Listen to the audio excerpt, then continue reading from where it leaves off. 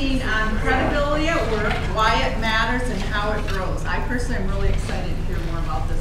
Um, just to give a little bit of information about Richard. He's a senior pastor at Bethany Community Church, and he's taught, um, teaches conferences through the Central or Torchbearers Bible School throughout North America, Europe, and Asia.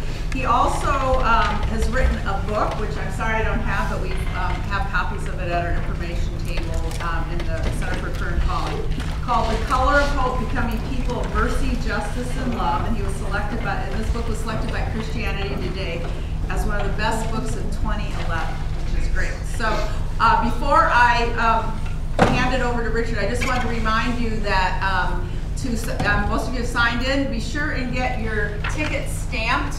If you attend three of these workshops, you will get this portfolio. That's a $30 value. You can pick it up on Friday at the Center for Career and Calling. So thank you, Thanks.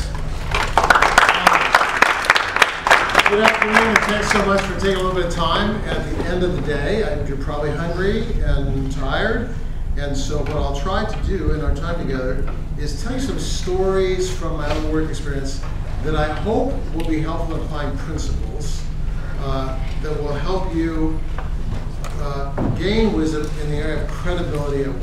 So we're talking about, obviously, about credibility. I'll begin by telling a little bit of a story from my wife's uh, work history.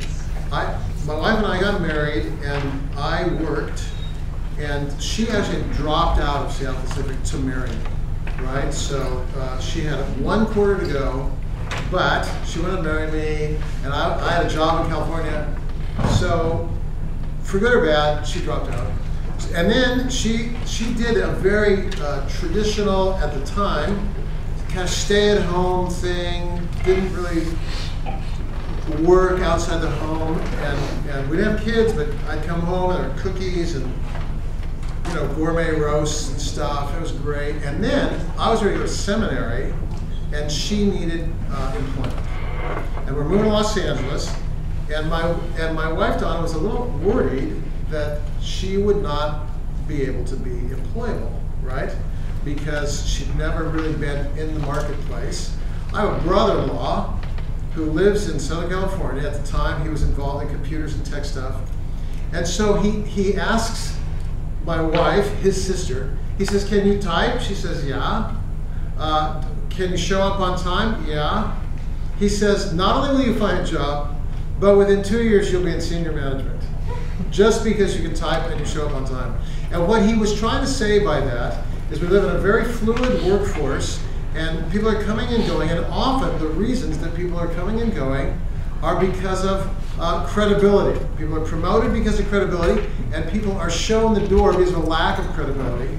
And, and so Donna shows up, she applies for a job as a volunteer coordinator at a hospital, gets hired as the volunteer coordinator, and then moves from that into payroll, into, into uh, bookkeeping, into HR, was, a, was an assistant HR manager, and was offered the HR department but chose not to take it because she didn't want to work that many hours. But she kept climbing a ladder without any experience, without any degree, simply because she had credibility. And so if I can teach you one thing today, it would be this. Credibility is actually the most important asset that you have. You have all kinds of skills, but the most important asset you have is credibility. So we're going to go through this, answer three questions. Who gets hired? Why does credibility matter so much? And how does credibility grow? We're going to answer those questions. There's an outline, uh, and the, just to help you pay attention, or in case you fall asleep and you wake up you want to pay attention again, there's blanks that you can fill along the way, and so you'll know where you are. And so at the beginning here, under the question of who gets hired, I'm just going to share this. Uh, uh, and this is only my own experience, but when, when we hire in our church, we being a church of about 3,500 people, and so we hire pretty regularly uh, for all kinds of things, both on the operational side in terms of uh, computer programmers, web designers, videographers, communications people, uh, admin, support, uh, reception, uh, uh, facilities, mechanics, construction stuff, and on the ministry side, all kinds of ministry positions as well.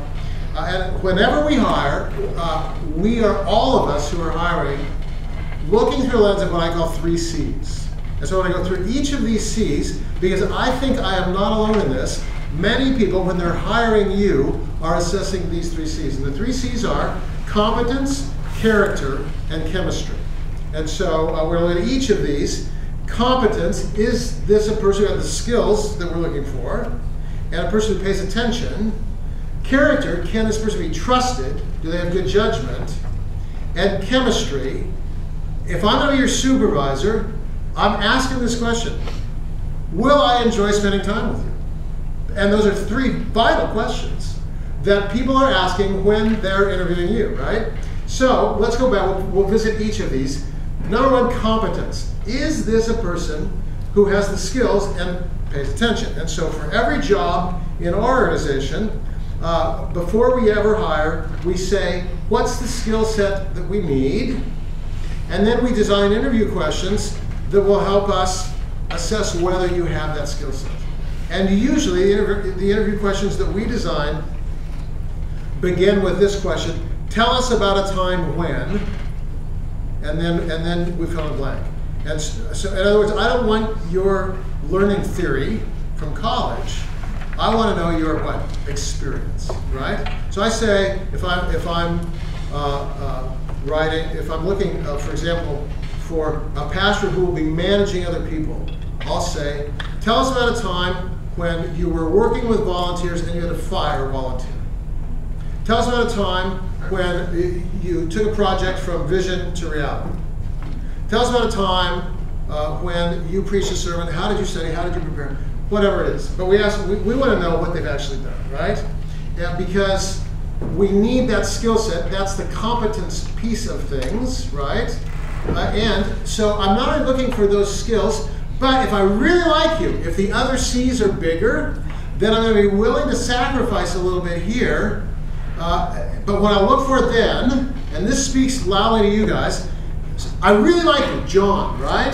And so I want John to come, and I, I, I want him to do computer programming at Bethany Community Church, but he has never done uh, the kind of things that we need. He's not a webmaster, and we need somebody to do that. And he wants to work for us, but he has only learned about it, read it in books, and doesn't have doesn't have a big portfolio. But I like it, right?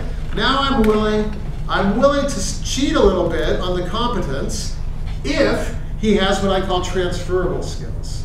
So I'm not only looking for skills, I'm for transferable skills, and particularly you who are just coming out of college are going to need to be able to articulate in an interview setting what your transferable skills are. And so if somebody is asking you about uh, a time when you wrote a tech manual, you, might say, well, let me tell you about a time when I had to write something for a project, and then, and then you talk about your writing skills, or your learning skills, or your communicating skills, or your team building skills because you did a social venture project or something in the business school, but you, you want to refer back to your experiences that demonstrate skills that are transferable uh, because you won't have necessarily work experience unless you had an awesome internship. And then that's great. But, but we're looking, we're always looking for skills. And then, still under this competence rubric, right? Not just skills, but this is the other thing I want to know about you. Do you pay attention and care about details? I always want to know that because work is a lot about details. So, so I'm very interested in your resume and your application, right? And, and, and what I'm interested in there is the length of your resume, not too long. And I'm sure the Career Center has lots of help they'll provide here.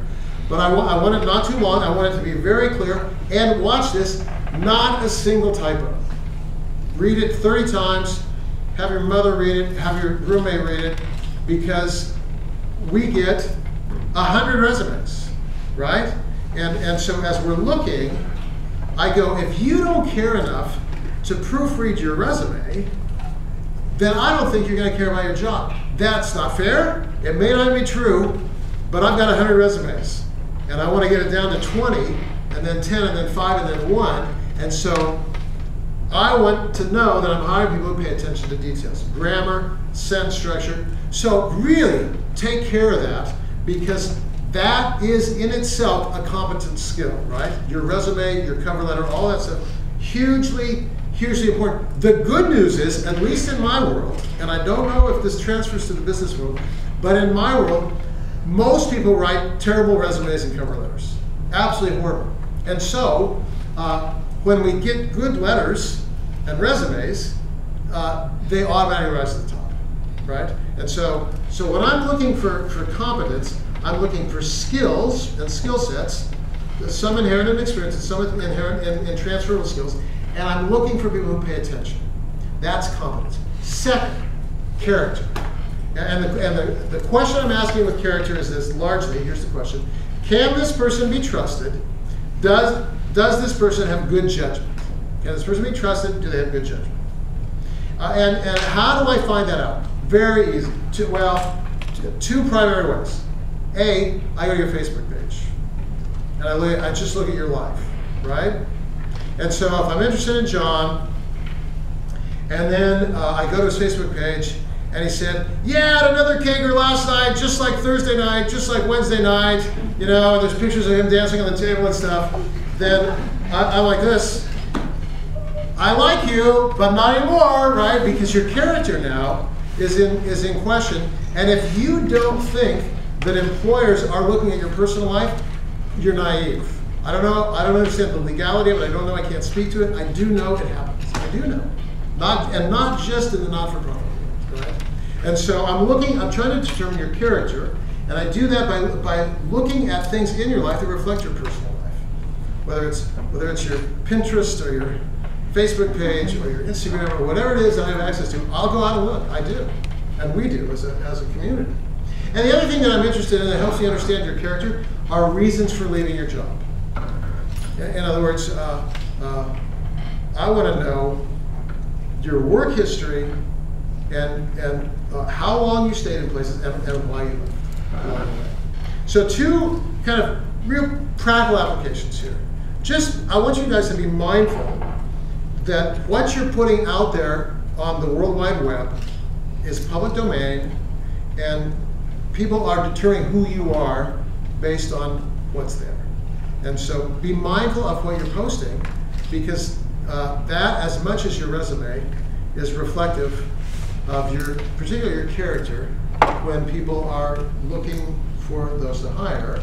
And second, be mindful as you embark on kind of this professional career that uh, it's not just your skill set, but it's going to be like your work history that will paint a picture of who you are, how you make decisions, how you get along with people, um, how, how you how you live into your, your calling, whatever your calling happens to be.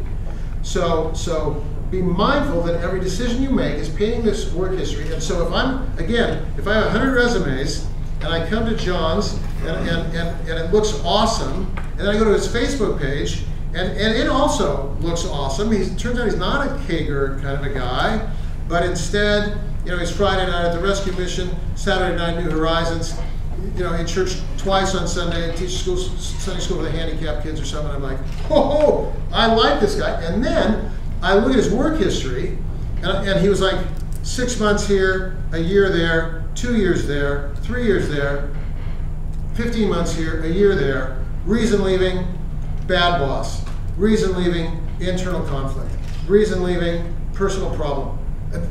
You know where that resume goes? It goes in the trash again, right?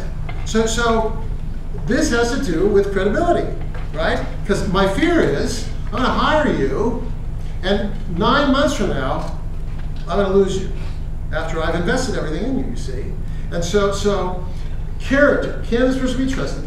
Do they have good judgment? Clean up your Facebook feed and be mindful of the work story that you're creating uh, as you as you move from job to job to job. Competence, character. Third C, chemistry. Question for chemistry? Do I enjoy hanging out with you? Do I want to spend time with you? Uh, if I'm your supervisor, there's, there's two questions or assessments that I'm making. And the first is this, just in conversation, right? I ask the question, does this person energize me or drain me? I want to know that. We're presently uh, looking for another uh, teaching pastor at Bethany Community Church. And so this coming weekend, uh, Saturday night, uh, I'll go out to supper with a candidate. Uh, and Monday night, I'll go out to supper with a candidate. There's no agenda. I don't have any list of questions. All it's just like it's like I'm going out to dinner with any of you. I want to get to know you, get to know a little about your family, these kind of things. And really, what I'm really interested in is this: at the end of that evening, am I energized or exhausted? Right? Now, why would I ask that question? Here's why. Be spending time with you. A lot of time. Some weeks, more time with you than my wife, much to my dismay. Right? And so, what I want to know is: is this going to be enjoyable, or are you going to suck the life out? of it? Right? And, and, and so it's, it's subjective, but it's an important thing. We, like, uh, we had a candidate years ago for a job, good resume, good experience, uh, good reference checks, good phone interview.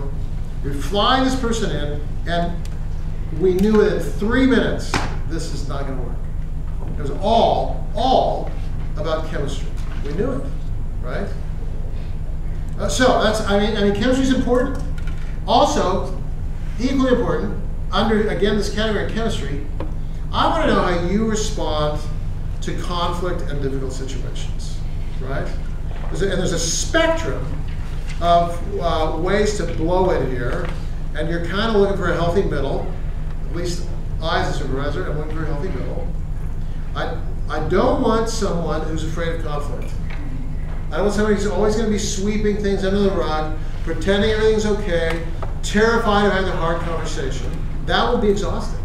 And, and in the end, it won't be healthy because you can never keep everything under the rug forever. Eventually, it sprouts. And if you, and if you sweep it under the rug, and you try to keep it down there, it just festers and molds, and when it does sprout, it's worse, right? So I don't want people on, on the team that are unwilling to have hard conversations. I also don't want people for whom every conversation is a hard conversation. Do, do, you understand what I mean by that? And there are such people, right? And, and that too is exhausting. And so, under the chemistry um, um, category, I would say, like, I just want to know do you enjoy being with me? Do I enjoy being with you? It's important. And how do you respond to conflict and difficult situations? And I'll just say something about this particular one chemistry chemistry is weird, right? Because uh, chemistry is not just about you, honestly. It's about it's about you and your your employer. It's about you and your supervisor. Truly, in other words, uh, you might you might not work well with me, but you'd work well with him. So so when I'm interviewing you and I'm thinking about chemistry, do I enjoy being with you? I would suggest for you guys it's valuable to have enough self confidence to say you're also interviewing them. Do you know what I mean? Do you want to work with these people?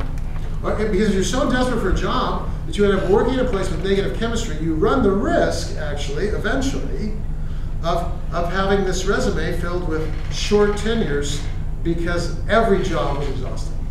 And, and, and so there's a sense to which, when we're interviewing, not only am I interviewing you, you're interviewing me for the same reasons.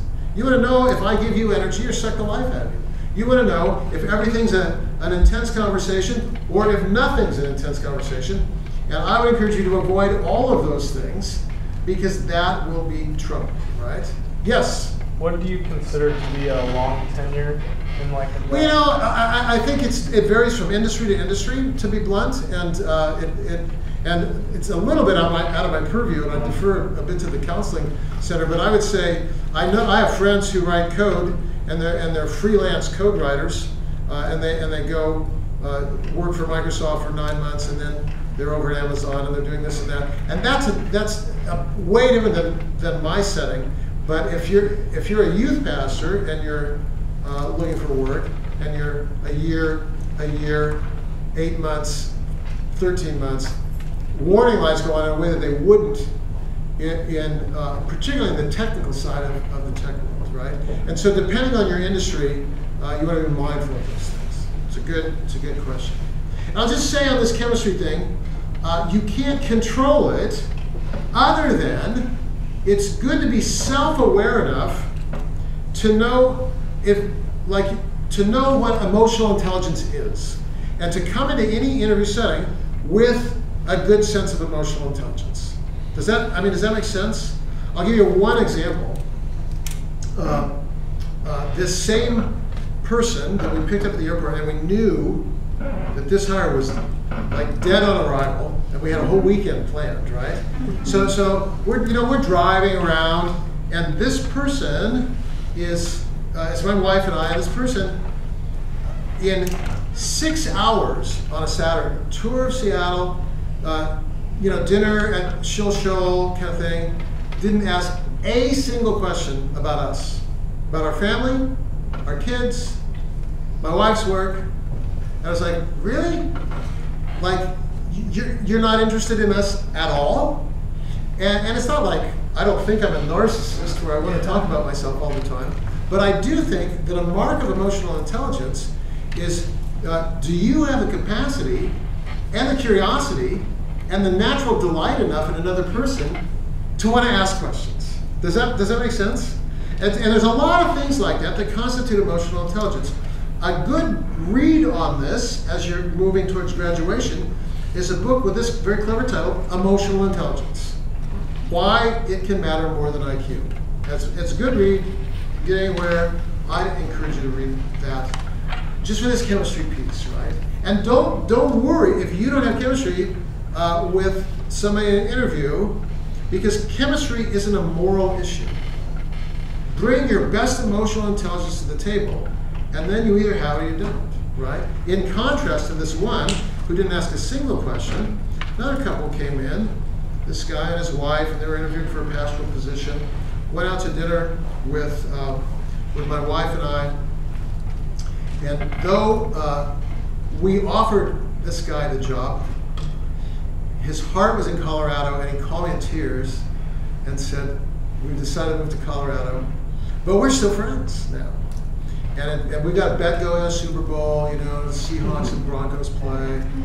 Seahawks win, he has to wear Seahawks jersey. that Sunday after the Super Bowl, et cetera, et cetera. And so, so uh, uh, but, but we're friends still, and we may hire in the future still, right? because there's this great, great chemistry. Now, so one more statement before we go on to question number two. Competence, character, chemistry. And here's the reality. The overwhelming majority of your, well, at least formal preparation in, in university actually prepares you for the C that matters the least, which is competence. Now, when I say the least, I, I'm not saying it doesn't matter. Competence matters a great deal, right? Uh, but you can always teach skills. You can always teach skills. You can't teach emotional intelligence. You can't teach character. And so when I'm when I'm looking, I go, man, uh, I, if I, if you like say, say I need a preacher, if you like studying the Bible, and and you're a decent communicator, if your chemistry's great and your character's great, I don't take a chance on you. But but but if if you're like if you're the best preacher on the planet, but every time I'm around you, I'm exhausted, and I don't know if I trust you, I don't want you. So here you are, you're in university, you're learning competence. Important? Yes. Vital? Yes. The only thing? No. It's one of three C's, and I give it 20% out of 100% of the total package with 40 going to the other two. So, the truth then is this credibility comes less from competence, more from character and chemistry. Credibility comes mostly from character and chemistry, not, not as much from competence.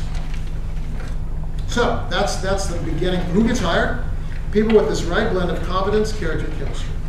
Now, second question then, why does credibility matter so much? I'm going to just uh, give you this in a, in a, in a couple of uh, sentences, in a sense. I'll, I'll say it matters uh, to those above you. We'll look at that uh, to begin with. And, and under that, here's why credibility matters to those who are hiring you. Because your sphere of influence grows only as trust in you grows, right? So going to use John as an example, right? I hired John he's now the webmaster at Bethany Community Church. Let's just say that, okay? Uh, and so what happens? Well, uh, he, like he's on time, and uh, we enjoy hanging out together. And every once in a while, we'll go bike riding or rock climbing or something or lunch hour. And, and, and then, so, and then we build relationship. And as we build relationship, he, he, like I begin to believe he's actually interested in my own well-being, right? And, and then when I'm tired, he says, man, you look tired one day. And I go, yeah, you know, well, and then I say, here's the thing, uh, you know, we're growing too fast, or whatever I say, and then he begins to be a, not only a friend of me, but I see, oh, he's got like, he's got some instincts regarding organizational management. I didn't know that. I hired him to write code. But what am I going to do now? Well, you know what I'm going to do now? If I can afford it, I'm going to expand his sphere of influence, and I'm going to say, look, I need you to manage our whole communication teams. Because it's really, that's what's weighing me down right now. And I trust you, not because you write good code, but because of the other two C's. Do you understand? Competence and, uh, excuse me, character, uh, character chemistry.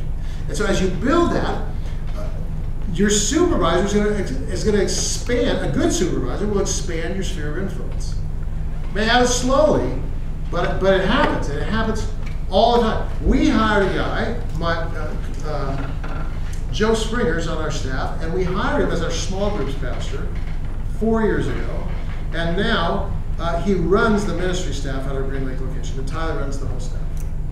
Why? Uh, I trust him. And uh, we laugh together, and we go out and eat together. And I, and I know his character is entirely above reproach, and he has demonstrated skills beyond small groups and has a passion to build a team, and that's what we need is somebody who wants to build teams. Because I'm busy, you know, traveling and teaching and writing that kind of thing, and so he grew into that role, and, and, and he grew into it by his, his credibility. The, there's a quote at the very top of your first page of notes. The executives who ignited transformation from good to great did not first figure out where to drive the bus and then get people to take it there. They first got the right people on the bus and the wrong people off the bus, and then figured out where to take it. In other words, I'm looking for the right, when I have the right person on the bus, I'm in, now I'm interested in John's development. And I want to see him use his gifts and grow and expand his sphere of influence because I want him on my team because I trust him. So this is, this is actually the way it works. Almost everywhere. It's not that it's not different in the corporate culture. The sphere of influence grows when your supervisor trusts you. And then uh, I, am going to say, here's the other thing. Your job is like like a poker game in a sense with chips, As, and it's kind of valuable to think this way. I brought I brought some chips as an example. And so if I can just kind of show you here, here's what happens. When you get hired, when you get hired, you get chips, right? Everybody gets chips. Now you get more or less chips depending on a number of factors, right? Uh, okay, you got a great resume, you get some chips for that. Um, uh, your, your interview went well, you get some chips for, for, for that. Uh, um, 40 people turned down a job before you because it only pays $9 an hour. Uh, and, and, we're desperate now, but you took it, you get a ton of chips for that, right? So you get a lot of chips in that setting. Here's another, here, now you got, this other person got hired, right? And uh, here's the deal. We hired you in spite of some reservations because your resume was sketchy. You had zero experience. And, and uh, we really, we, we had fierce debate in the HR team that interviewed you. And we have this, and we do have this very objective system where at the end, John was at 3.1 and John was at 3.0. And we went with John. But half the people wanted John, the other John. And so how many chips does he have? Not many. I mean, you understand? This is the way it works everywhere. You get a lot of chips or you get a little chips, depending on your situation, right? So, for example, in my, in my situation, I ended up at Bethany back in 1995 with a, and they gave me a ton of chips when I started because uh, they, uh, the, my predecessor resigned in 1993, and they searched for two years for a pastor, right? And so a bunch of they, a bunch of people came in. They offered the job to a couple of people, and, and those people turned it down. And then other candidates came in when they saw our facilities. They said, "No, this place is hopeless." And then and then they then they withdrew their names. And so they had a hard time finding the kind of candidate that they wanted. And then I came and spoke there, and then they asked me to apply, and then I applied. And anyway, it's a long story. But but uh, when they hired me, there was a congregational vote. and The vote was 100%. There was not a single no vote, right? And I feel like anybody who could walk and chew gum, they would have loved because they were desperate for a leader. But nevertheless, they all liked me, and so I got I had a ton of chips at the beginning, and I said to my wife, they were voting. I said, unless the vote's 100%, I think we shouldn't even come. And you know why I said that? Because I knew I was going to be spending chips. Now, what does that mean? You know, you gain chips when you arrive, and then you spend the rest of your career adding chips or losing chips. That's the way it works. So, when I arrived, 100% vote, cast a vision for ministry to university students, uh, pre preacher, yeah, lots of chips. And then, immediately, uh, oh, what? You're not, you're not wearing a tie, we're not playing organ every week? I said, no, no, remember we agreed. University students, we're trying to reach university students. So we have different music, I dress differently. You know what? Goodbye chips. Immediately. Oh, Richard, you're dedicating babies wrong. Look, the previous pastor, he did it this way, you do it this way. I said, this is the way I do it. Goodbye chips. Six months in. Uh, hey, uh, pastor's been on staff 18 years and was there when I arrived. I asked him to resign. I lost almost all my chips at that point, right? And, and, and, and the church, in the first year I there, grew from 300 to 200. so, I, I needed a ton of chips. Why? Because I lost a ton of chips. Do you understand? Uh, and then, kind of slowly rebuilding the chips over, over a period of time. Uh, one college student shows up, he brings some friends, and then I go to a climbing gym and meet some other college students pretty soon. We have a college ministry. Oh, we have a college ministry. You know, chips. And then we add second service. Oh, no more chips. And then and then we kept growing. Oh, more chips. And then we then we add another service. Oh, more chips. And then we build a building. Oh, you know, have credibility. So this is the way it works. You're gaining and losing chips. Now, if that's the case, then uh, when you start with chips, but here's your goal get more chips. I mean, it's not really your goal, but it will happen if you do these little things. Responding to emails in a timely manner. Being available your supervisor. Keeping your promises. Being on time to meetings. Dressing appropriately. And kind of the bigger observation under dressing appropriately is that you gain credibility by your adaptability, right? If, if you're uh, in a company, everybody's writing code wearing Patagonia and Levi's. Don't go in in a suit. But if you're if you're in sales and everybody's wearing a suit, don't go in in Patagonia and Levi's, right? Dress appropriately. Be, fit into the culture, adapt, and and finally, telling the truth. Telling the truth. All these things gain chips, and the reason you need to gain chips is because you you also are going to lose chips. Everybody loses chips. Why? We're human. You'll forget stuff. You'll blow a presentation. You'll get stuck in traffic. Maybe you'll oversleep once. You'll forget a meeting. There'll be a big typo on a PowerPoint presentation, a sales presentation, and you'll have to own it. And you'll and you'll lose chips. And as long as you're making enough deposits along the way, then when you lose chips, you you have an opportunity to stay in the game, right? And, and, and gain more chips back. But if you keep making withdrawals until what? There are no more chips. I have a word for you unemployment.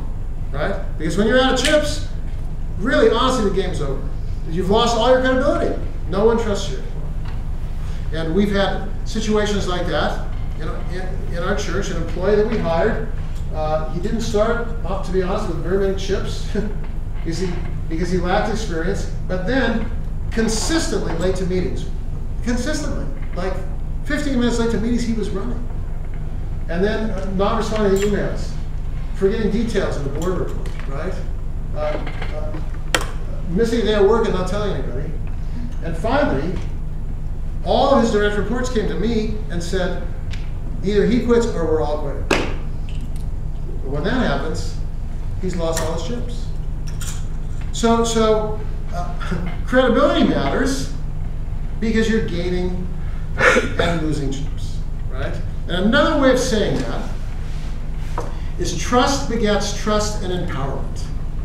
Trust begets trust. And, in other words, if you build trust, then then your supervisor trusts you and then will empower you. Mistrust begets micromanaging and loss of power. If I don't trust you, I will shrink your world and, and, and, begin to micromanage you and require greater accountability. And I don't want to do that. It's exhausting. And, and, and, and, and yet I have to do it because I don't trust you. So you're either gaining or losing trust, you're either gaining or losing chips. And, all along the way, you will need emotional intelligence to know how to build relational bridges with, with your supervisor. And I think the bridge metaphor is really important here because the, the question between John and I is this how much weight will this relationship hold? Right? And, and if we're building the relationship with encouragement and affirmation and trust and follow through and responding to emails and keeping promises, then, then we're strengthening this bridge more and more and more. And then the bridge will be able to withstand both disappointments and mistakes and hard conversations. But, but if we fail to build the bridge, and then disappointment, mistake, and hard conversation comes up, there may not be the weight on the bridge to sustain. Does that make sense? And so, so the, the thing to see here is you're always gaining or losing credibility, gaining or losing trust, gaining or losing chips based on your investment, and this is emotional intelligence.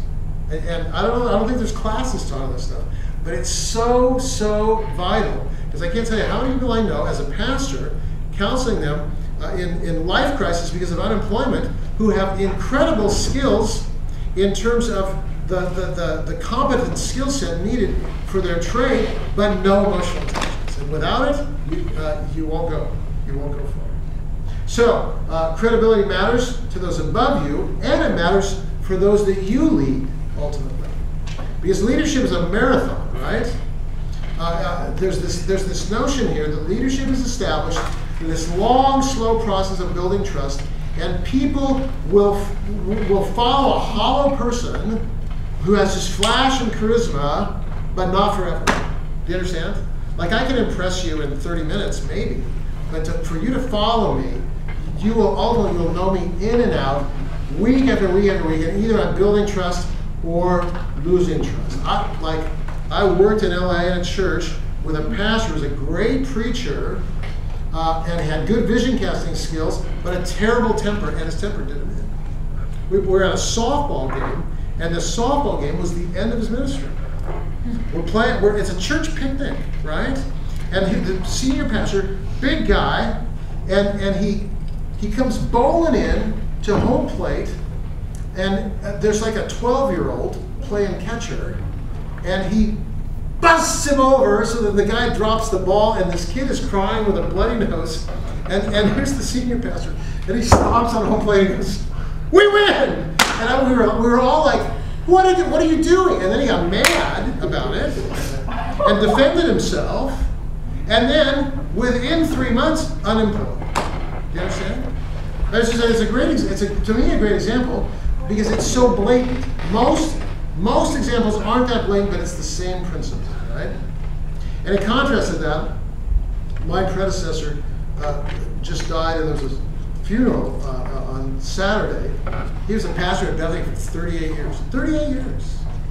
Man, in that period of time, do you know what? You you know each other inside and out. You're slowly, slowly, slowly building chips. He had so many chips that there were over 300 people at his funeral, and it was during the Seahawks playoff Like, who does that, right? Only somebody who's dearly loved, and that's from building credibility. The people who adored him most were the four pastors who worked under. And they spent all day praising this guy. So, credibility matters because as you begin to lead others, and you will, uh, your credibility will en- enable those who you are serving as a leader to trust you. And finally, credibility matters because people won't risk following a leader they don't trust. People will not risk following a leader they don't trust. Uh, when we built a new uh, building at Bethany Community Church, uh, there was an estimate it was going to cost $5 million. We had a fundraising thing. We raised four. That was good. And then uh, the like the chairman of our construction committee said, "We have to have a meeting. Uh, some things have come up. You didn't know there's been a change in the cost, right?" So we met at Starbucks down at Green Lake. I'll never forget the night we met. He says, um, "Hey, I, I know we thought it was gonna be five, but uh, this is like in a building boom, like 2005." And he goes, "Construction costs have gone through the roof. Concrete has doubled. Anyway, here's the news: the new final price, 6.9 million dollars. We thought it was gonna be five. It's 6.9 million." And I was like, "This, we can't do this. We can't do this." But this guy our, our leader, like the chair of this committee, he had built uh, both EMP and the Seattle Public Library. He was a construction manager, uh, construction manager on both projects, right? And so he had tons of what credibility, right? And he says seven, six point nine million. I go seven basically. He's, I go no, we can't do it. He says we've got to do it. I said we're not going to do it. And then I'll never forget. He slams his fist on the table and he points at me and he says, We're doing this and we're doing this. God is in it. I know God is in it. And the only reason that we did it is because he slammed his fist on the table. really, honestly. And I trusted him. And why did I trust him? Not just because he built EMP, though that helped a lot. I trusted this guy because his character was impeccable. I knew that he was the same in private as in public. He had nothing to hide, and I would follow him anywhere. And because I trusted him, we did it. So, people will not risk following a leader they don't trust, and so you have to build credibility so that you can lead. Final question, and this we're getting a little bit of Bible as we bring this down. How does credibility grow? Three ways. First, credibility grows, oh, well, there's four, but we're only at three. Credibility grows when you use your gifts and talents. Credibility, credibility grows when you can deal with conflict. And credibility grows through your authenticity. Credibility grows uh, when you use your gifts and talent. Credibility grows when you can uh, deal with conflict. Credibility grows through authenticity. And uh, for this, uh, I'm going to take you to scriptures. Credibility grows when you use your gifts and talents. In other words, uh, uh, it says in Ecclesiastes, uh, I think it's chapter 9, whatever your hand finds to do, do with all your might. So let me paraphrase that. Like, if John loves writing code, then that's what he should do.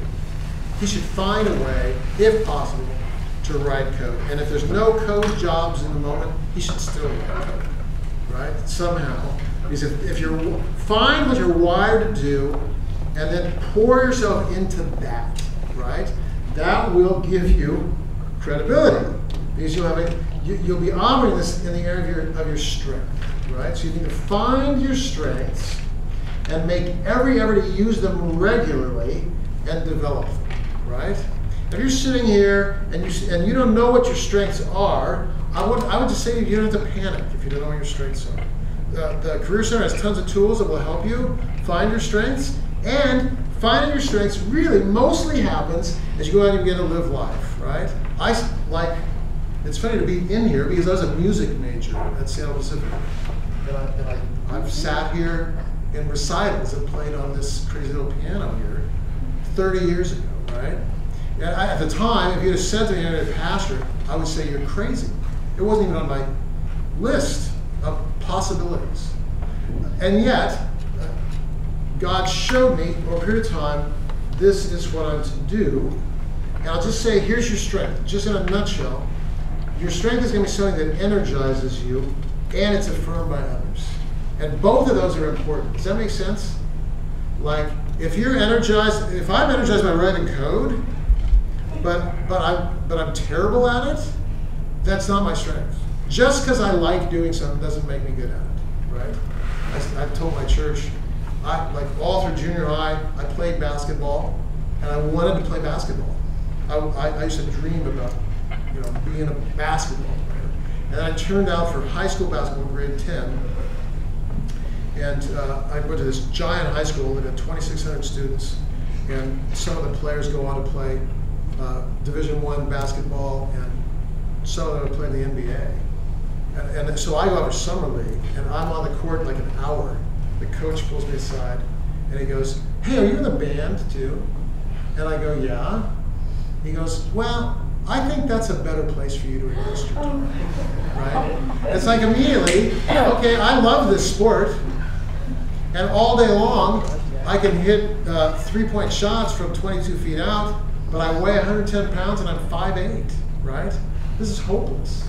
And he just he just said, you know, I I consider music if I were you, and I was good at music, and that, that got me through you know high school, But but your strength will both energize you and be affirmed by others.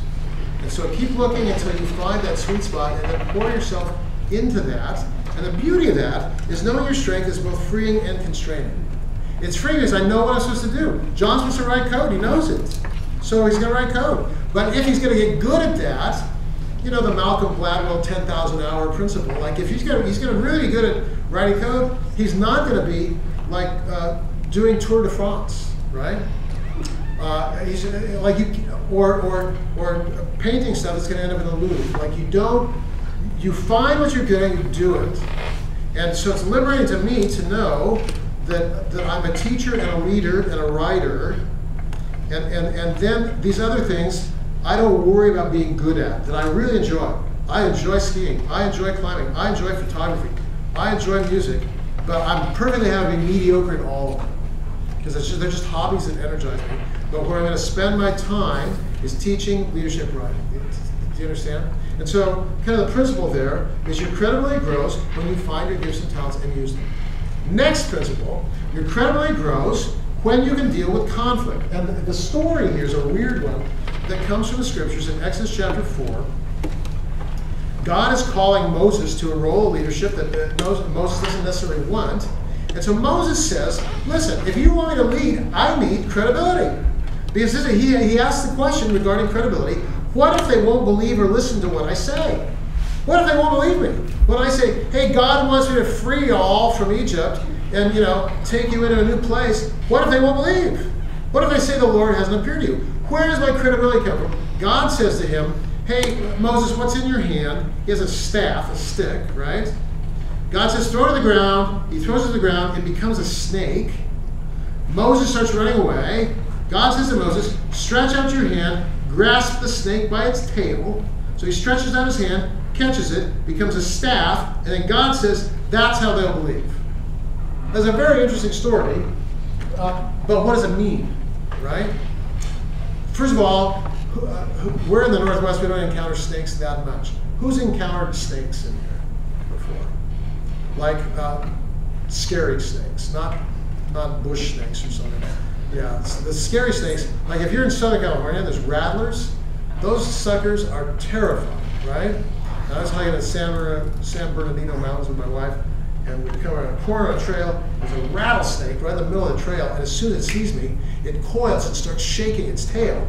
And I was like, snake! And I, ran, I totally ran the other way.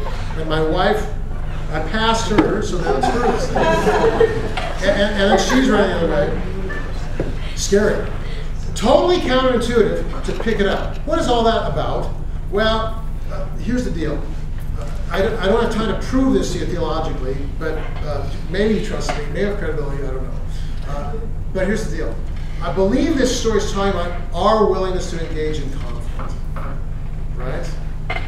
It's none of us like conflict. We're going to run the other way.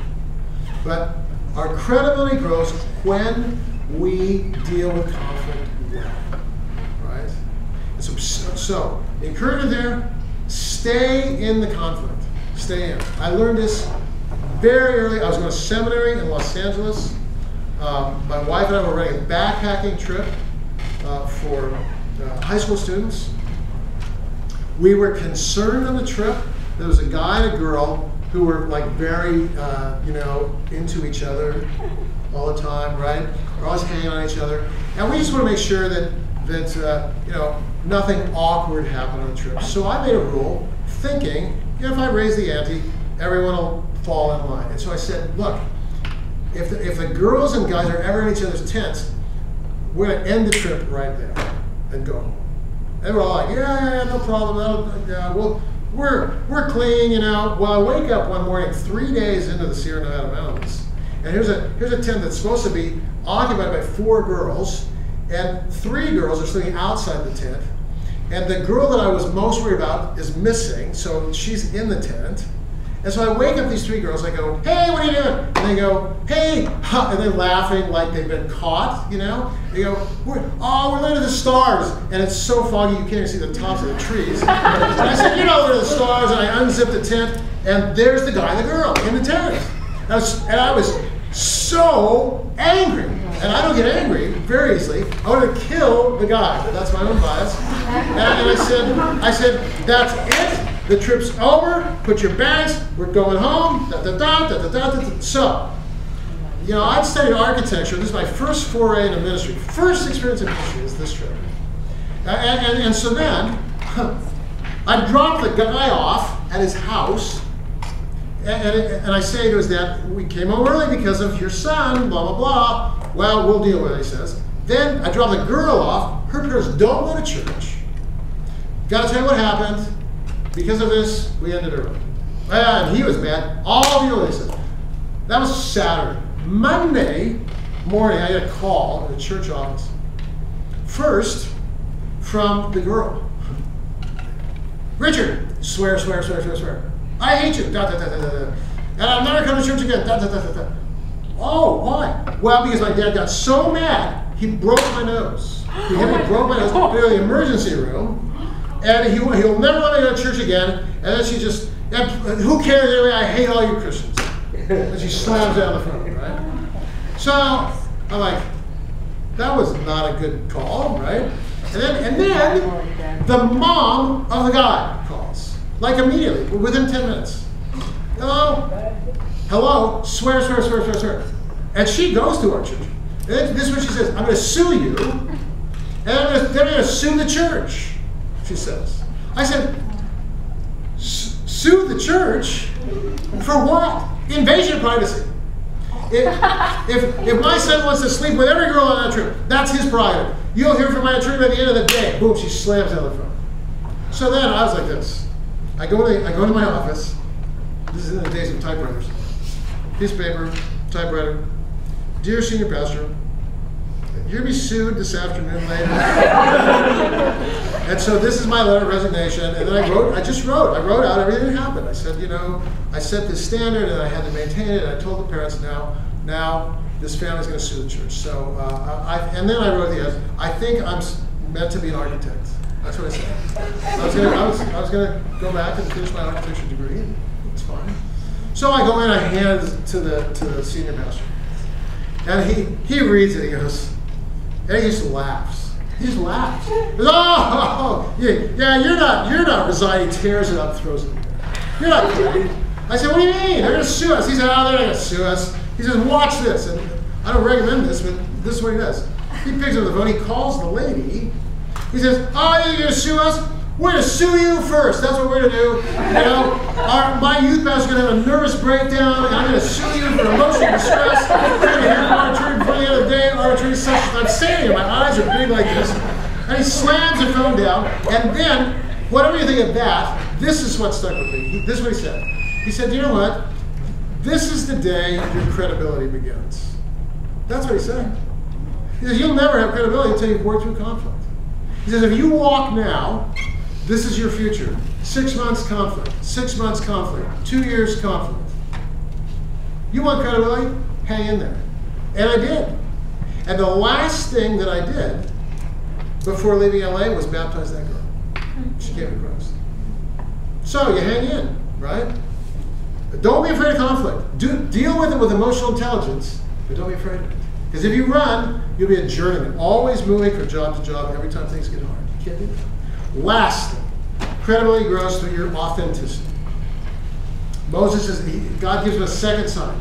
God says to Moses, hey, uh, take your hand, put it in my New American Standard Bible, says, put in your bosom. What is it? Whatever, right? Put it, so put it in your shirt. Moses puts his hand in, and when he pulls it out, it's, it's leprosy, right? You know what I mean? Like this sick disease. Then God says, put it back in. He puts it back in, and it's cleansed. And then this is what God says that's your credibility. What does that even mean? Well, in the same way that the serpent represents conflict, uh, leprosy represents sin in the Old Testament. And so here's what God is saying regarding Moses. He says, Look, Moses, you want to know what will give you, will give you credibility in ministry? The, not the fact that people see that you have no flaws. Because here's the problem you do.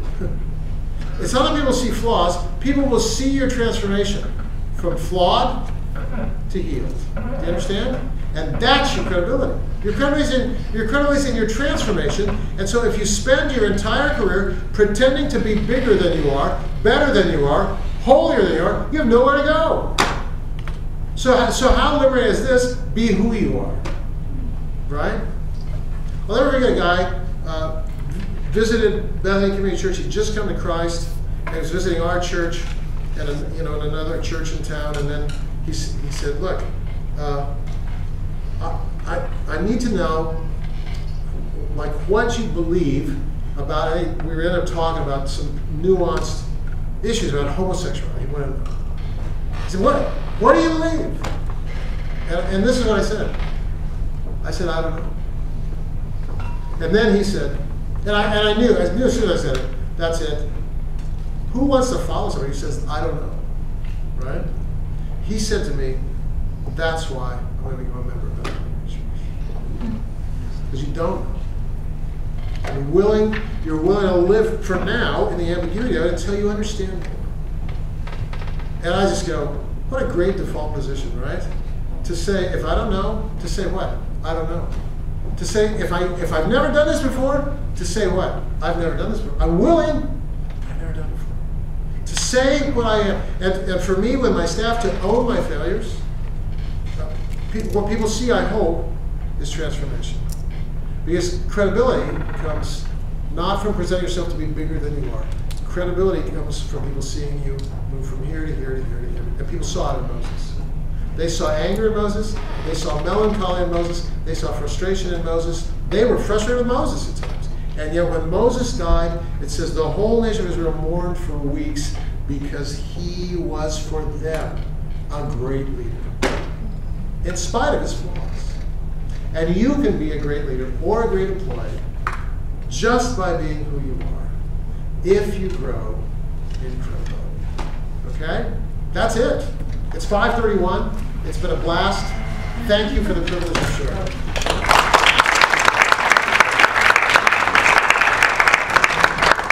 I don't know where you go or what you do.